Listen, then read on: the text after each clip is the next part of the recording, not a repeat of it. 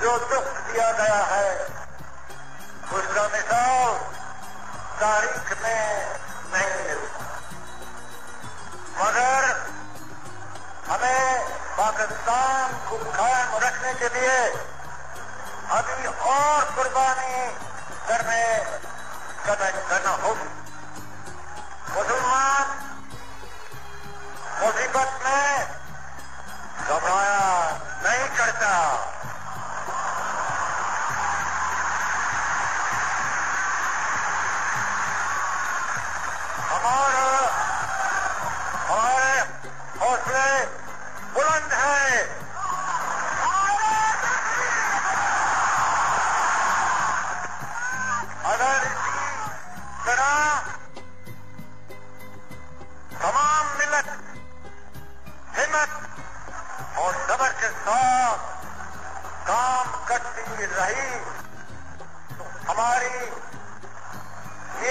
یہ مصیبت ان بہت جلد ختم ہو جائے۔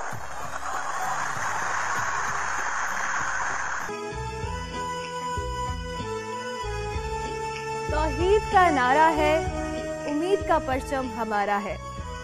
اپنی میری دھرتی ہے، اپنا میرا موسم ہے۔ اس خاک پہ میں قربان اس کی ہی دیوانی ہوں۔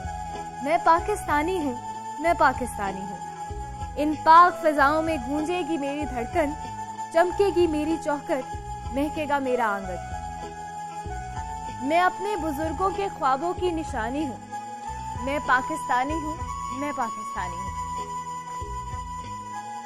پاکستان کا مطلب کیا؟ لا الہ الا اللہ۔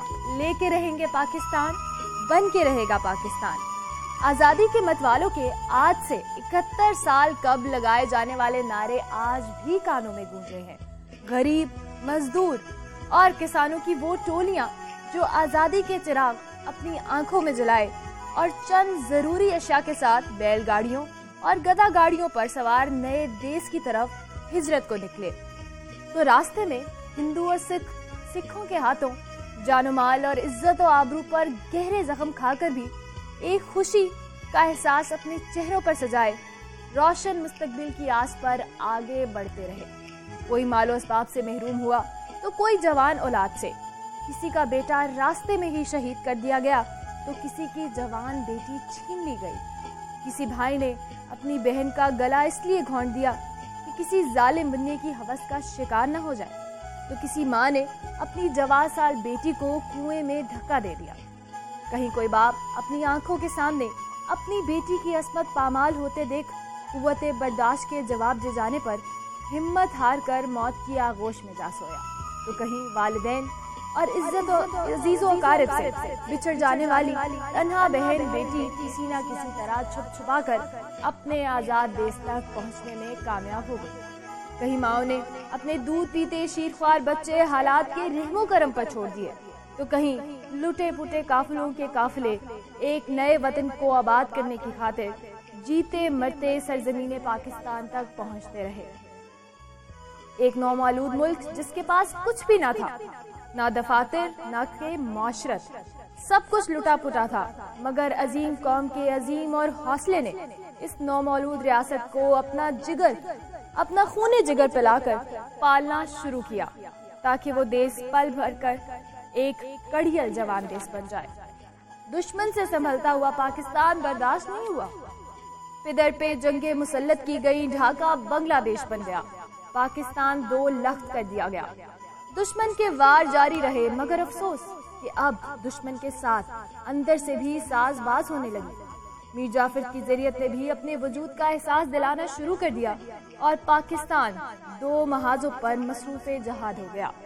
اکہتر سال بیت گئے، مگر زخموں سے چوٹ پاک دھرتی کے زخموں کو مرہم پٹی کا موقع نہیں ملا۔ کہیں دشمن کی سازشیں، کہیں جنگی جنون کا مقابلہ، تو کہیں اندر کی سیاسی اور انتظامی نالائکیاں پاکستان کو سنبھلنے کا موقع نہیں دے رہی۔ لیکن پھر بھی اللہ کے رحم و کرم اور بزرگوں کی کوشش سے ہمارا ملک پاکستان وجود میں آیا اور ہمیں ایک آزاد ملک میں آزادی سے رہنا نصیب ہوا۔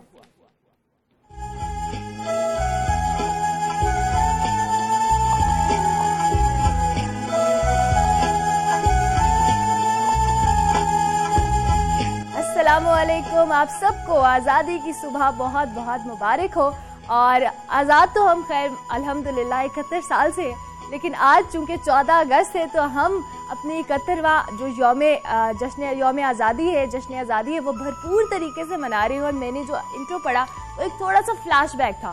اور اس کے بعد اب کے حالات و واقعات کی بات کی جائے تو الحمدللہ ابھی بھی ہم بہت کہہ لیں کہ بہت بہترین حالات میں ہیں اور آج بھی ہم جب جشن آزادی کی بات کرتے ہیں تو کہیں سے بھی ہمیں نہیں لگتا کہ چاہے ہمارے اندرونی معاملات میں کوئی نہ کوئی اونچ نیچ ہو، لیکن ہم سٹل اتنے انتھوزیازم کے ساتھ، اتنے جوش و خروش کے ساتھ چودہ اگست مناتے ہیں کہ ہم باقی ایک زندہ قوم ہونے کا ثبوت دیتے ہیں۔ اور آج بھی ہم جب میں صبح آفس آ رہی تھی تو میں نے دیکھا کہ لٹرلی لوگوں میں اتنا جوش و خروش پایا جاتا ہے۔ اور جیسے میں نے کل بھی ذکر کیا کہ ہر گزرتے سال کے ساتھ ساتھ ہمارے اندر جو جذبہ حب الوطنی کہا جائے، وہ دن بدن بڑھ آئے۔ کم ہونے کا نام چاہے حالات جیسے بھی ہو جو اقبال نے خواب دیکھا، جو قائد اعظم نے اس کی تعبیر ہمارے سامنے پیش کی، اور آج ہم جس آزاد ریاست میں ایک خوش اور ایک کہہ لیں آزادی کے ساتھ رہ رہے ہیں، ہمیں اللہ کا جتنا شکر ادا کرے وہ کم ہے، کیونکہ بہت ساری قوموں سے ہم بہتر ہیں، بہت سارے حالات و واقعات سے گزر کر ہم یہاں تک پہنچے ہیں۔